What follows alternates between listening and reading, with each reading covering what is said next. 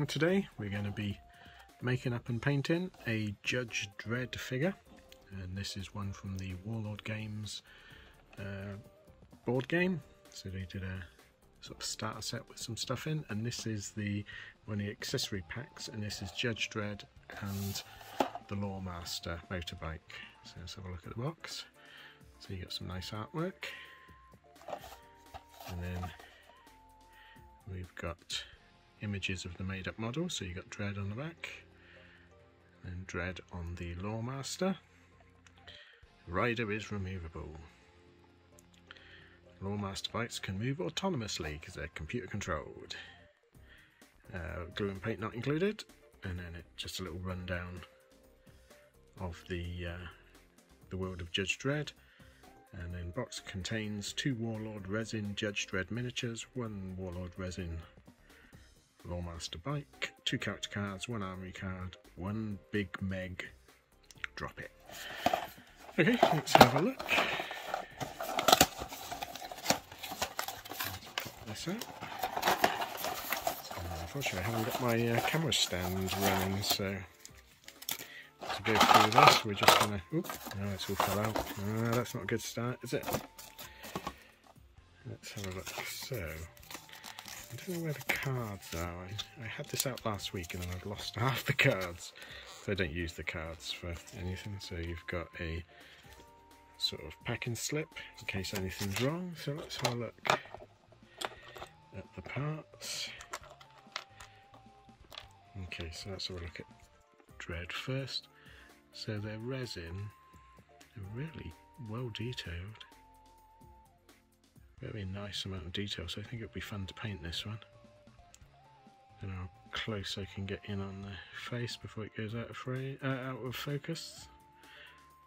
So pretty good, hardly any flash. And then we've got looks like a two-part Lawmaster bike. Again, very very clean. I like this resin, it's good. Hope it takes paint. Oh, we got some flash to clean up there, so a bit of sand in there. And then you get Dredd's Bum Bum. Um, body with one arm on. And you've got the other arm. And then looks like the bike is in three parts because you've got the handlebars. I imagine that's all got to be cut off. Um, and you get a weird base, I presume. If you wanted to demount him, put them on another base, you could do that. Okay, so the first job on these is going to be to cut the bits, uh, cut the flash off, probably glue the figures together, and then undercoat them. So uh, let's have a go at that. Okay, so yeah, looks like they come off. Let's just snip them off here to start with. Oh, it's quite soft, so that's good.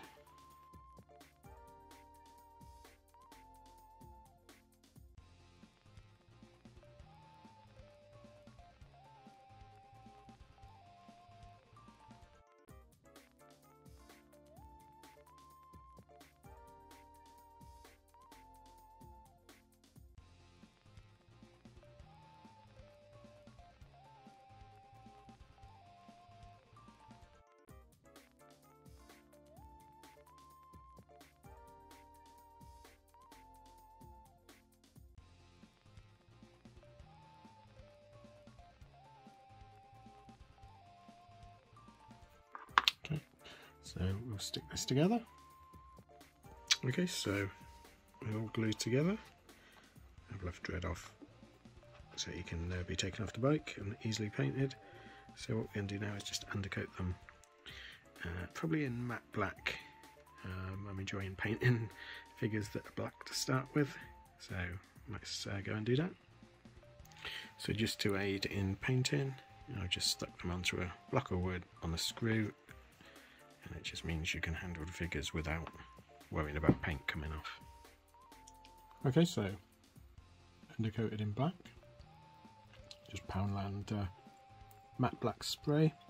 So what we're going to do is just block in some flash on the chin, not a lot of flash on Dredd. So we're just going to block that in using my normal mixture of uh, Cadian flesh tones and Vallejo light flesh mixed together.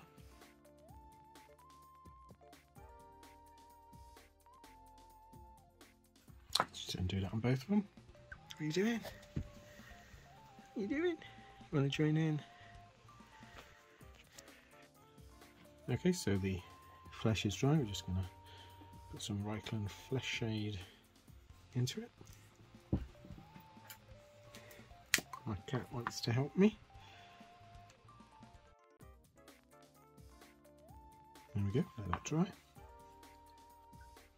Okay, so uh, on my wet palette I've just mixed some blue and black and I'm just going to use that for the uniform but I'm not going to paint it completely all over. Let's move that way so you can focus. So what I'm going to do is paint the majority but leave the hidden parts black. Um, not really used this technique before so it'll be interesting to see how it comes out. Um, so really all I'm doing, sorry I've got a cat on my lap. Hello! Bless her. Uh, so all I'm doing is sort of picking out the top parts and leaving the creases in black. It might work, it might not, we'll see how it goes. Okay, so I've basically second focus. Hold on. There you go, focus. There we go. So basically I've used a sort of cartoony method, so I've left some black, uh, done dark blue, mid blue, and then light lines of light blue, just to give it a bit of a cartoony look, and then I'm going to dry brush uh, very light blue, just a light dusting over it. Um, so I'm going to do that now. Uh, and what I'm, not for the dry brushing, but I got one of these uh, wet palettes, um, which work quite well, but they do thin the paint down quite quite a bit. So you just got, they're great for doing figures, but not good for anything else. okay, let's uh, do a bit of dry brushing.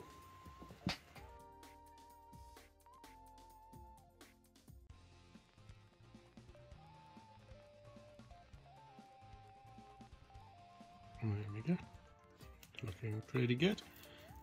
so next I think I'm going to start painting the green.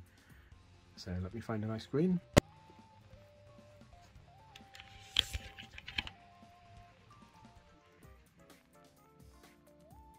This cat's decided to sit on top of the top of the shelf, uh, the seat.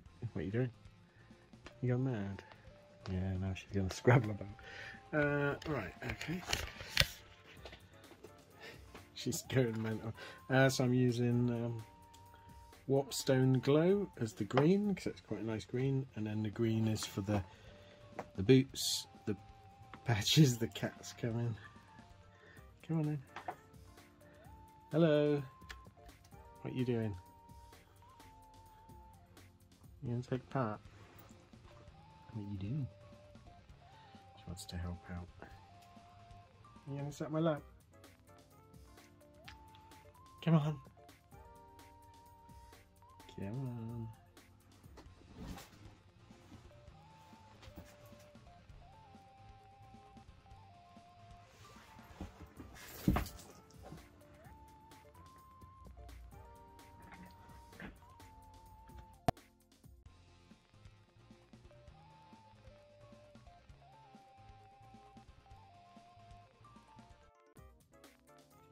Okay, so excuse me. There we go. Cat on my lap. So I've uh, run the green, I can't pronounce that word, Coelia, green shade, basically uh, a dark green ink run into the gloves. So then I'm going to dry brush the gloves and the green parts with some moot green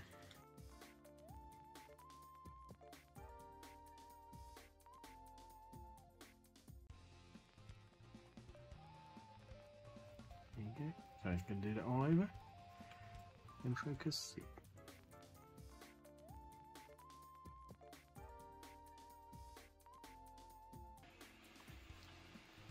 Okay, so we can see the golds on there. So he's looking pretty sharp. What we're going to do now is run some uh, some MIG line wash into the, the eagle and the shoulder pad and then we're going to paint the red outline on his uh, visor and I think it's just the brown for the nightclub and that's pretty much done. Uh, same on this one and we can start on the motorbike. So.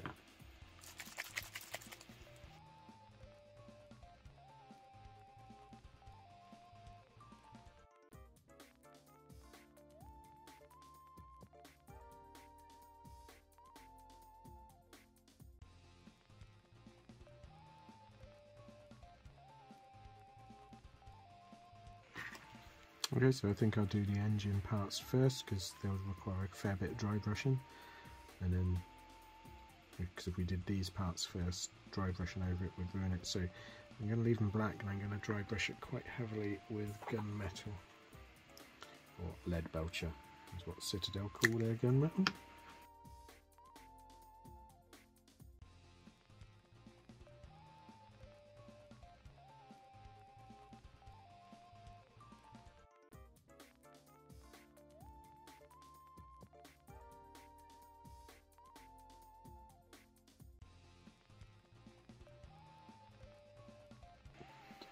Too bad. Um, so what I'm going to do then is paint tyres black because they've had a bit of overspill and then paint this in the glossy blue, this colour.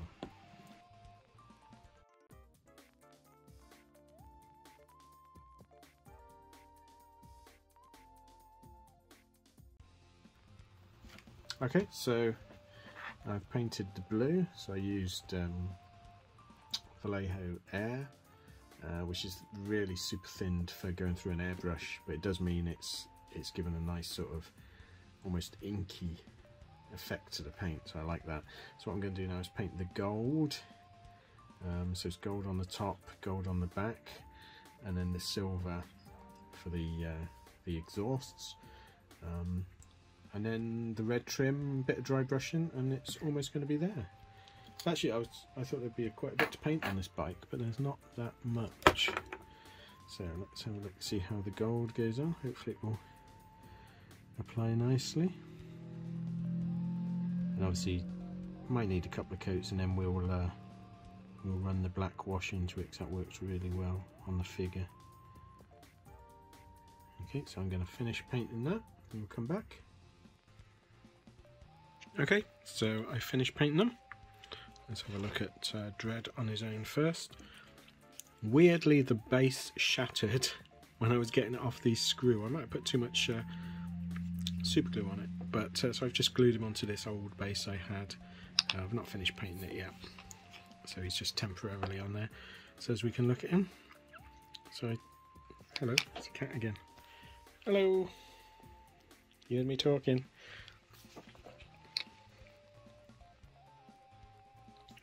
Sorry about that, I got bullied off my chair by my little cat. Technically, I suppose it's her chair. So, we were having a look at Dredd. In focus, so I've um, given him a little bit of a satin varnish coat over his uniform because I think it looks a little bit flat, but left everything else matte. So I think he's come out rather nicely. Lots of detail on these uh, figures so ink washes and that work really well. So I'm really pleased with him. And then the bike. It's a really nice bike. I have got a, an older, I think Games Workshop Dredd on a bike. Uh, I'll grab it out. Actually, let me go and get it now. Okay, so this is my old, I think it was Games Workshop. It's a really old figure. Um, I painted it when I was much younger. Um, probably do with a repaint, but I, I, don't like repainting my old models like this because I want them as a to show that yeah my skills have come on a little bit. It's weird pose as well. Very look at that back leg. Um, so that's sort of the old Brian Bolland style Lawmaster. Uh, this one I think is much sleeker, much neater.